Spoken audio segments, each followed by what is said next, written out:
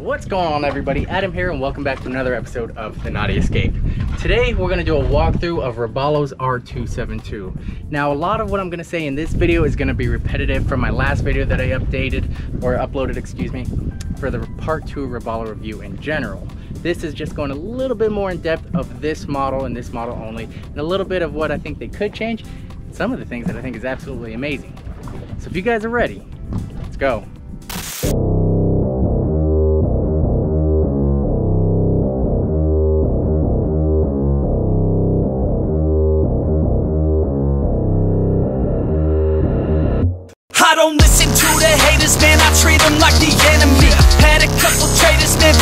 Know the penalty. I tell them, see you later, fam, I do not need this jealousy. I got no time for failure, man, I wanna leave a legacy. I lock in and I'm sold out, pop up for the whole crowd. I got this, I roll out, I promise, have no doubt. I'm all in, here I go now, call in, you ball out. Take hostage, the pros now, they novice when I throw down.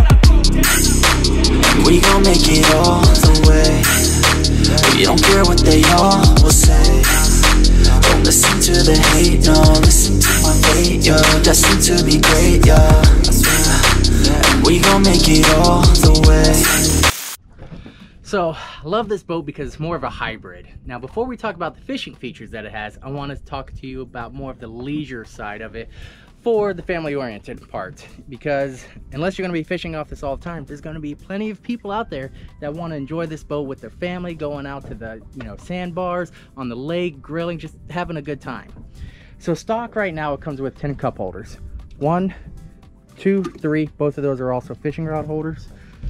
Four, five, six. This is right under the live well here. Folds up. Also, there's your bench seat up here. So if somebody's over there, you can enjoy yourself, kick your feet up, or just, you know, be social about everything. Uh, it's got two up at the helm on both sides of the steering wheel. And then, of course, two right here, making 10. Since we're up here on the front of the boat, I'm gonna talk about it's got the backrest here. I had the R222. It's like 1100 bucks for these things. To me, I think it's the biggest ripoff there is. However, they're absolutely amazing to have. Uh, if you don't have them and you're ordering a boat or buying a boat, I'd recommend definitely getting them. See if you can find them somewhere else, maybe an aftermarket place that'll be a lot cheaper. But uh, definitely love it. Definitely wish I would have had it when I purchased the R222 to begin with. The table over here folds down to a casting deck. Uh, all your, uh, excuse me, attachments fit right here where the bathroom is. Now, you can get this with an electronic head or you can get it with a porta potty. Me personally, I don't want to be cleaning up people's crap.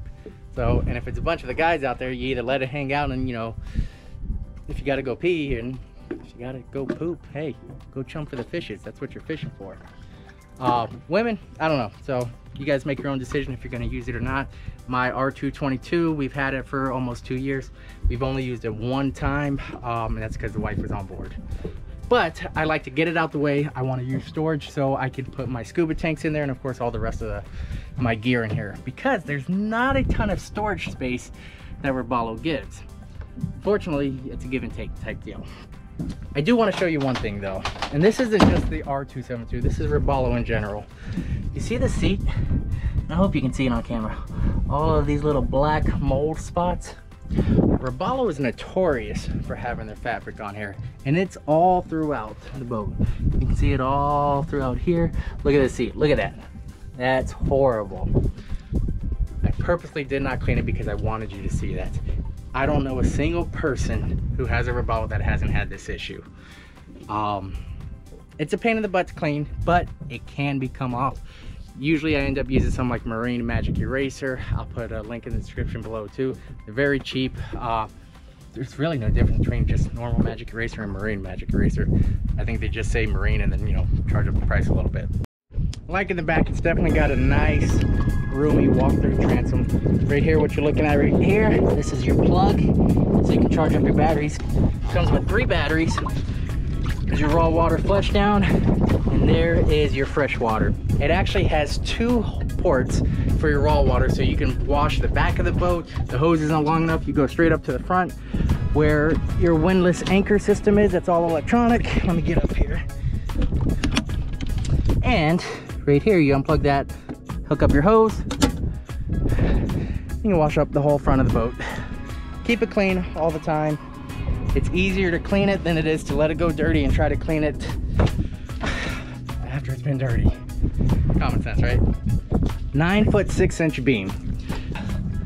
I am six foot tall and I can barely reach from one end to the other end. This thing is huge. This is one of the widest beams in all 27 foot consoles. It also has one of the biggest coolers in there.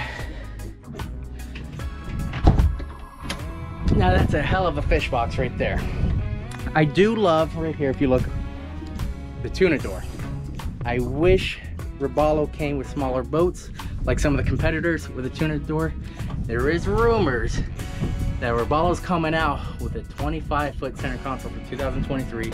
It's gonna be twin engine and come with a tuna door. If that's the case, I absolutely think that's gonna be one of the best selling boats. It's probably gonna be the most convenient to buy. And if I would have known that, I might have waited. Uh, I don't know what the price is going to be though. Obviously, supply and demand, uh, inflation, prices are going up right now. I don't know what it's going to be like two years from now. On to the fishing specs. So stock, this comes with 11 fishing rod holders. You have two on the side. Not only is that a cup holder, it's a fishing rod holder. Same thing with these two in the back, cup holders and fishing rod holders. Of course, you got your flip up seat right here, which is, provides major comfort when you're fighting a fish. You got your tuna door right here on the side. And of course, this is also great for family. Magnets right there. You're going diving. You end up getting your gaff. Rah! Pull that up. Like how I do that? Rah! Pull that up. Man, there's nothing better than fighting a big old fish over here and grabbing that in there, putting it in that cooler, which is huge, by the way. Um, yeah, good to make great memories. Same thing on the front. Now I do wish they would have put a couple rod holders up in the front. You can do that yourself, especially if you're gonna put like a bow shade up there. Uh, your table also folds down, acts as a casting net. You do have electronic windlass anchor, which will help. To be honest, if you're saltwater fishing, I don't really know when you're gonna use the anchor. My suggestion, save up some money, get one of those iPilot trolling motors, which is what I'm saving up for. So if you're gonna be doing some bottom fishing over a reef, it's gonna save you a ton of hassle. Um, also trolling. So I know that it may just be me or one other person trolling over here. I'm saving up. I want to put some autopilot on this thing because we have the outriggers on here. You have all your other rod holders in here. We can put comfortably about six rod holders out, you know, trolling in a teaser. The issue is when you're trolling and you got a fish, you got to reel in all those damn lines. And it's a pain in the butt when you only have one or two people because you don't want your lines, you know, getting twisted up. You're gonna lose your fish that way. So how do you do it if you're by yourself, which I don't recommend, but it happens. You're by yourself, you're trolling. You don't wanna stop those motors. You gotta get all those fishing rods. Keep it on autopilot. You're not gonna have your boat moving, you know, left or right or turning around where your lines are gonna get up there. Keep it going out in the middle of the ocean. You can reel them all in. You're good to go. Autopilot is absolutely a must have. And then of course, if you're drop, you know, bottom fishing, definitely get a iPilot trolling motor. It comes with the wet sound sound system. It's got a speaker bar right here. Of course, it's got four speakers in there. They are hooked up to an amplifier and there is a 12 inch subwoofer right here. I was actually amazed because I didn't think it would be worth upgrading to a sound system uh, from the Clarion stock system that comes with Robalo. And what I've noticed is the stock system course, you're not gonna have really much bass, and if you turn it up, you're gonna blow your speakers anyhow. On the stock Clarion speakers that come with all Robalo boats. Uh, going full speed on my R222, I had 250 motor. Even though it's much quieter, when you're going fast and you got that wind blowing up there, you have to crank it all the way up, turn up the treble, and turn down the bass for you to even hear anything. And then it's just a screeching sound. You constantly have to adjust it. This bad boy here, I can go full blast, turn it all the way up. It still hurts my ear. There's a lot of bass on it. The cool part is there's no rattling.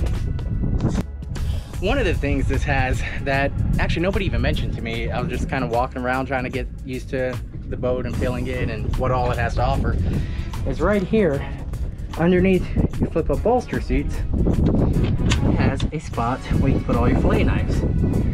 And a little bit more storage there. Supposed to be used as storage? I don't think so, but it's open space. Hey, as long as you don't put anything that's electronic or anything because it's still gonna get wet, I'd put it in there anyhow. And it came with the SeaDek. It's about four months old. Um, I can't really give you my opinion on it. I mean, don't get me wrong. It looks beautiful. It absolutely feels amazing. I can be barefoot all the time, but I don't know how well it's gonna hold up. I've had several people ask me, hey, how do you like it? Well, right now it's brand new, so I love it. I'm gonna do a video and I wanna show you this right now because in six months to a year, I wanna do an updated video to see how well it's hauled up after we abuse the hell out of this thing, going scuba diving, having fish guts and blood everywhere, and see where this thing lasts and is it worth it? Because you're looking anywhere between two and you know almost seven thousand dollars to have stuff like this laid down, uh, depending on what kind of boat you have. So this is what it is. I'm gonna walk through all the way through. I love the transom. You can walk all the way through. Here's your charging port. It's got two live wells, one on the side here and right where that seat is. You can lift it up. Excuse me, I'm doing this all one-handed. And it's got a live well right in there. Now, if you're not going out deep sea fishing, if you're not using different types of bait and you're not using both live wells, use one as a cooler. Instead of, you know, taking up more room, adding your own cooler, throw some ice in that bad boy and use it up there or up in the front, which I'm about to show you here. Now, I love that it comes with a table. It actually comes with an attachment that's inside here where this drops down and it acts as a casting platform. These are all removable. Uh, it has absolutely a lot of storage room in there. I don't know if you can see from the glare on there. Um, gas shocks holds it up. In here, of course I got the table in the way so it's harder to see. Uh, there's another small cooler in there. So it's got your push button cluster on each side. Looks cool, it's all backlit. But if you look up here, you have lights on both sides. Stuff that was never mentioned or even that I saw on boattest.com or anything, which that went mainly on the specifications on how fast it goes. Um, by the way, I was told 50 to 52 miles an hour. Nah, 46 miles an hour is the top I've had it. However, it is full of fuel, 180 gallons total on this. It is absolutely filled to the top. So once we get it down to quarter tank, I'm sure I'll get a little bit more out of it. Who knows? Uh, two 90 gallon tanks, one on each side. That's kind of a pain though, because you end up going to the gas station. Yeah, you pull up to the gas, you know, pump. All right, you're on one side, you fuel up your truck, fuel up your gas on one side, but you don't want all that weight on one side. You want to keep it even. So guess what? Start your truck, turn around, go to the next pump, fuel it up on this side. I wish they'll find out a way where you can just use it as one. I'm sure there's a benefit to it. I'm not an expert, so I don't know. So if you know it, let us all know so I'm not questioning that. Um, that's pretty much it. Oh, these lights, by the way. So they have your red map lights on both sides. And of course, that's to help with your night vision. But they also turn into white lights. It even has, let me look over here. Let me look. Windshield wiper. Never used it before. I don't know if I ever will use it. Cool to have. Not gonna make me want to buy it or anything more, but just another feature that Robalo gives. Absolutely like it. Um, honestly, guys, I don't really know what else to go through at this particular moment. Uh, actually, if you look on the side, you have two rod holders. Ah, see, look at that. That's uh, learned something new before. My other boat, I had rod storage on here and here, and the R242 actually has three rod holders on each side. Looks like this one only has two. Obviously, you can tell I haven't taken this out on the ocean fishing yet. However, that's going to change. Give me about a week or two. We'll make a video out there. We're going trolling. Um, going to Key West as well, too. So, uh, Mahi Mahi's running out there. I don't know if we'll be able to hit it for red snapper season, but I think that's going to be about it, guys. If you have any questions, I don't know all of the answers, but we'll figure it out together. As always, don't forget to like and subscribe.